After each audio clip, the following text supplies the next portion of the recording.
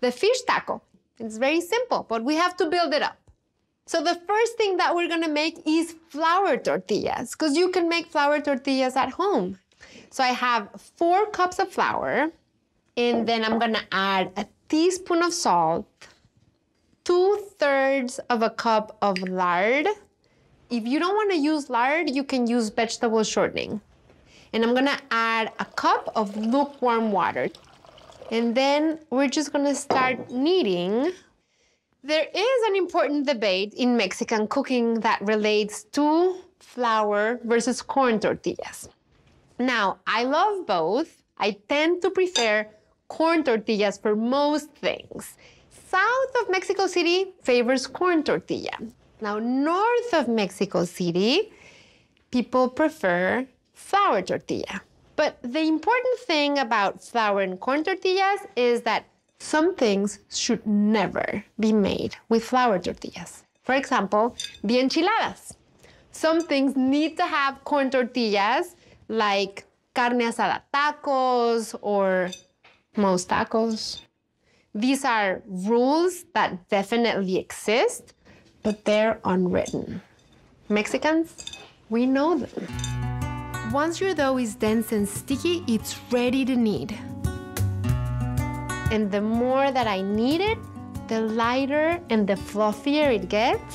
When my dough isn't sticky anymore and it's nice and smooth, I know it's ready. Now I have the dough, I'm gonna split it in half until I get 16 portions.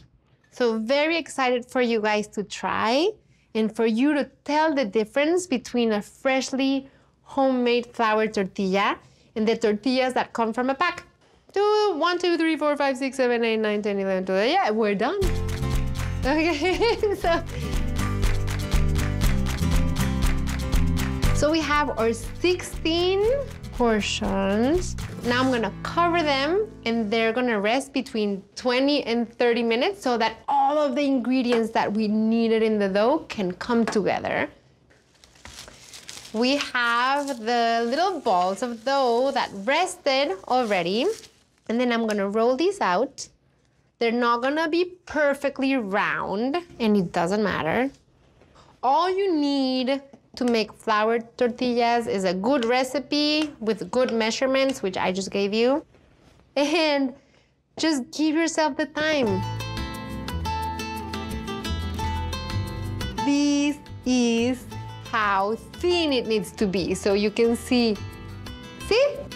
You can see my hand through the tortilla. You just put it on your already heated comal or griddle or skillet and then you wait until you start seeing bubbles on top. This is really fun, come see. Because you can see all the bubbles starting to form. Then you flip the tortilla when it starts getting freckled. And you can see all the freckles, like I'm full of freckles. Tortilla's full of freckles. And then once you flip it, it's gonna really puff. You take the tortilla off, you run and get some butter. Ah, ah, ah. Oh, see how it's melting all over it? Mmm. You sprinkle some salt. And mmm. Mmm. It's so soft. But for a proper fish taco, we need a lot of toppings. So now I'm gonna make a salsa macha. I have my pan here set over medium heat, and I'm gonna add about a cup and a half of olive oil. You may be wondering, what is she doing? Because this is most certainly a very unusual salsa. So the first thing I'm gonna add is a half a cup of raw unsalted shelled and peeled peanuts, four cloves of garlic. The next thing that we're gonna add, morita chipotle and meco chipotle. The moritas are of course prettier and it smells much more fragrant and it has a lot more flavor. And I'm gonna add three quarter cups of each, two tablespoons of sesame seeds, not toasted, this salsa is a very unusual salsa. It's not like your typical Mexican salsa that's like a tomato or tomatillo salsa. this is like a very hefty, velvety wet rub. Okay, so now I'm just gonna pour everything in here. And now I'm gonna add a tablespoon of brown sugar, three tablespoons of white distilled vinegar, teaspoon of salt, and we're gonna puree until completely smooth.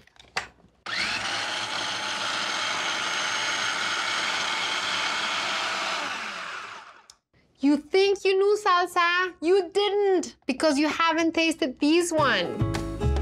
Spicy, savory, tiny bit sweet, you feel a little bit hint of acidity. This salsa is perfect. The last thing we need for our perfect fish taco, a creamy slaw. I have a quarter cup of mayo, a quarter cup of Mexican crema, three tablespoons orange juice, salt, some black pepper, tablespoon of white distilled vinegar, and then I'm gonna mix that up. Okay, so we're gonna add three cups of shredded green cabbage, three scallions, and that's it. We have our creamy slaw. We're gonna finally make the fish that's gonna go in the fish taco. And here I have some very fresh cod. I'm gonna cut strips about these with, and I'll season my fish on both sides with salt and pepper. Dredge it in flour. In a fish taco, you want a fish that is not going to overpower the taco.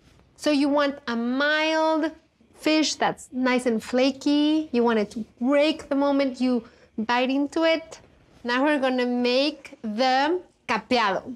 In Spanish, whenever you make a coating that has egg and flour in it, we call it capeado, which is actually a beautiful word because it translates to something like you're adding a coat or cape to something.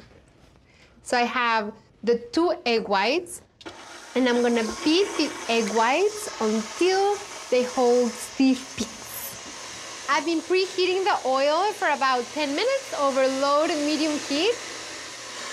So the moment I see they're holding a good shape, I'm stopping.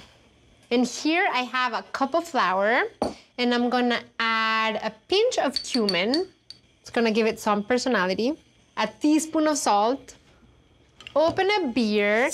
For these, I recommend a beer that's not too bitter or not too strong. I wanna make sure that there are absolutely no lumps in here. Once the batter is smooth, I'll add the egg whites a little bit at a time and gently incorporate them to keep my batter nice and fluffy. I think that a good fish taco needs to have, of course, really fresh fish, and then you need some really fluffy, tasty batter. And I think this one achieves it because it has the beer, and I think that beer really helps to add that yeasty taste that's reminiscent of fresh yeasty bread, I guess. And this is breading, so it's a good thing. You're gonna grab the coated fish, dip it in the batter. Mmm, mmm, mmm. Oh, beautiful, see? This is the most pillowy, fluffy batter. And you wanna wait about two minutes per side. Mmm, mmm, mmm. Because I want the flavor of the salsa macha everywhere, I'm gonna spread a little or a lot. I'm gonna add my slaw, red onion and serranos that have been marinating with a little bit of lime juice.